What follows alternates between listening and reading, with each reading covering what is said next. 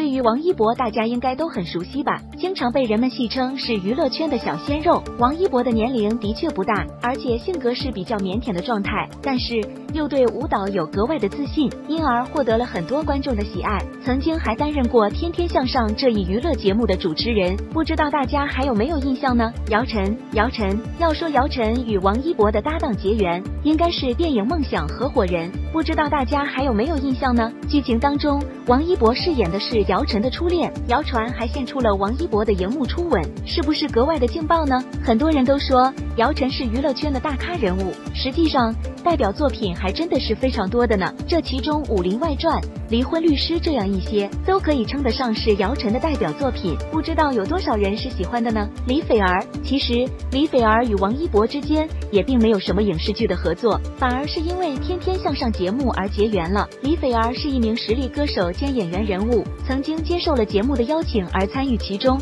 节目当中让人印象深刻的，应该是李菲儿与王一博合作的舞蹈，真的是相当厉害的。似乎与王一博搭档的女明星，更多都是因为《天天向上》这一节目。没错。